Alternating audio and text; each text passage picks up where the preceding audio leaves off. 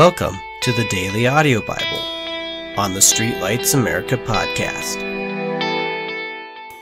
Hello, ladies and gentlemen, and welcome back to the Daily Audio Bible. In our last episode, we covered chapter 32, where we read about Jacob preparing to meet Esau, his brother, and the amount of fear that was upon him because of it. However, that night, Jacob wrestles with none other than God himself. And the Lord blesses him, and his name was changed from Jacob to Israel.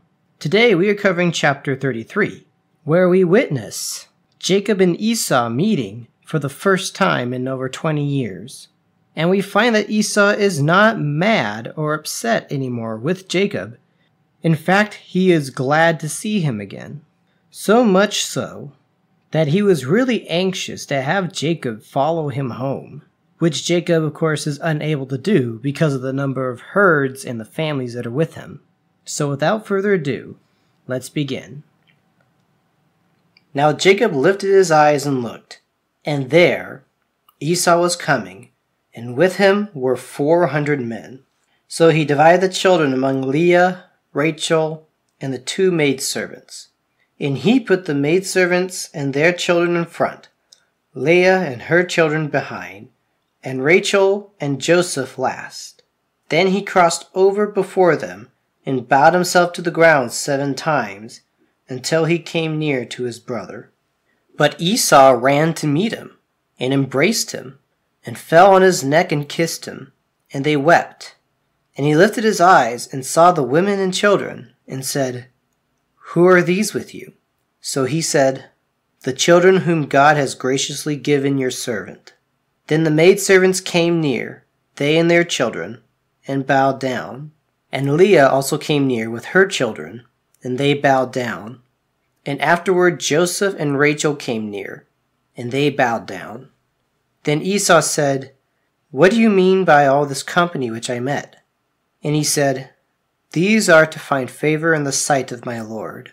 But Esau said, I have enough, my brother. Keep what you have for yourself. But Jacob said, No, please. If I have now found favor in your sight, then receive my present from my hand. Inasmuch as I have seen your face, as though if I had seen the face of God, and you were pleased with me, please take my blessing that is brought to you, because God has dealt graciously with me, and because I have enough. So he urged him, and he took it.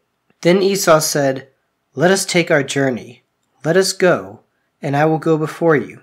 But Jacob said to him, My Lord knows that the children are weak, and the flocks and the herds which are nursing are with me.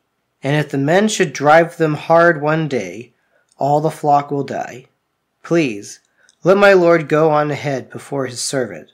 I will lead on slowly, at a pace which the livestock that go before me and the children are able to endure, until I come to my Lord in Seir. And Esau said, Now let us leave with you some of the people who are with me. But he said, What need is there? Let me find favor in your sight, my lord. So Esau returned that day on his way to Seir, and Jacob journeyed to Succoth, built himself a house, and made booths for his livestock. Therefore, the name of the place is called Succoth. Then Jacob came safely to the city of Shechem, which is in the land of Canaan, when he came from Padan Aram, and he pitched his tent before the city. And he bought the parcel of land where he had pitched his tent from the children of Hamor, Shechem's father, for one hundred pieces of money. And he erected an altar there and called it El Elohe Israel. And that will conclude today's reading. Something to be taken from here God told Jacob that he was going to go before him, and as always, we find God's promise to be true. Even in the midst of Jacob's fear that his brother was going to annihilate him and his family, God had already prepared the heart of Esau, and Jacob returned safely to his home. Never underestimate God's faithfulness to fulfill his promises to you, no matter what the circumstance, no matter what you're dealing with.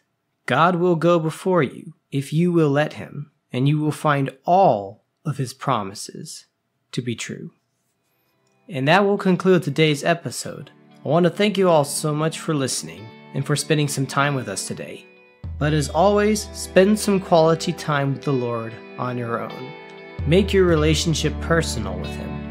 And as always, thank you so much for listening, and may God bless you.